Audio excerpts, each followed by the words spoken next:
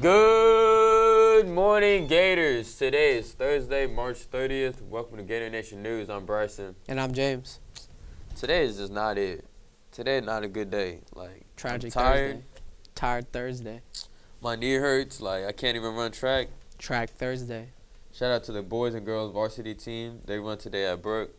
I think events start at five. Like field, uh, running events start at five. Sadly, I won't be there. Tap in Thursday. Nah, tap in for real. The JV girls track team ran at Clear Falls yesterday and won several medals. The 4x1 and 4x2 relay both placed first with I, with Crystal Long, Ija Mock, Brianna Champine, and Maria Dickinson. The 4x4 relay placed fifth with Alexis Tinsley, Riley Pacheco, Chris Thierry, and Sierra Union. In the 100 meter hurdles, Chris Thierry placed second. In the 100 meters, Maria Dixon placed first. In the 300 meter hurdles, Chris Terry placed first. In the 200 meters, Chrissa Long placed first, and Aja Mock placed second. In long jump, Aja Mock placed first. In shot put, Katie Myers placed second. Cassiana Parsons placed third, and Demia Temple placed sixth. In discus, Cassiana Parsons placed second, and Demia Lola Aldair placed sixth.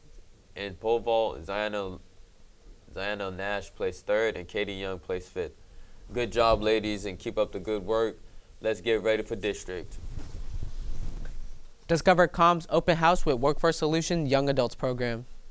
This event will be held on April 4th from 5 to 7 p.m. at College of the Mainland. During this event, prospective students will be able to find out information about financial aid opportunities and support services.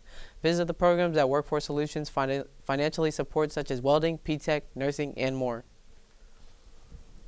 All students involved in band, dance, cheer, and athletics will be required to obtain a new physical dated after April 1st to participate during the 2023-2024 school year.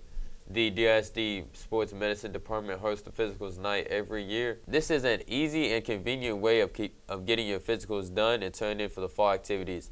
The price is $20 cash. Students can pick up a physical form from their coach, sponsor, athletic training room starting tomorrow.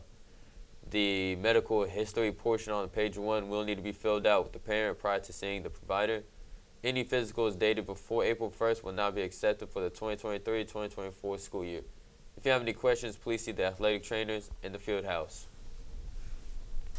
San Jacinto College has several upcoming events for, for, for prospective students. On April 5th, they're hosting the Industrial Technology Showcase where students can tour their industrial technology building at the North Campus, meet faculty and staff, and hear from industry partners. This is a fantastic opportunity for students who are interested in the industrial technology programs such as welding, electrical technology, HVAC, and more. They'll also be hosting the San Jac One Stop Shop on April 10th, May 1st, and May 8th.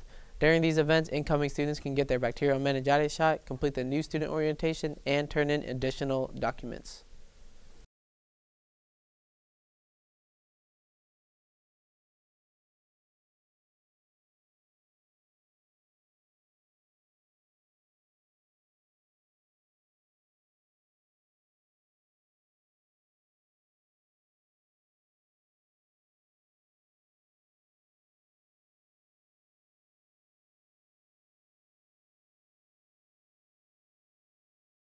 Make sure to follow us on Facebook, Instagram, and YouTube at Gator Nation Media and on Twitter at Gator Nation Live for the latest news and live updates.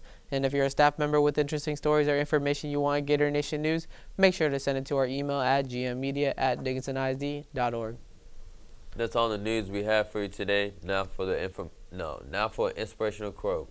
I'm a dreamer. I have to dream and reach for the stars. And if I miss the stars, then I grab a handful of clouds. Mike Tyson said that. We'll see you tomorrow on Gator Nation News. And now for the fun fact of the day.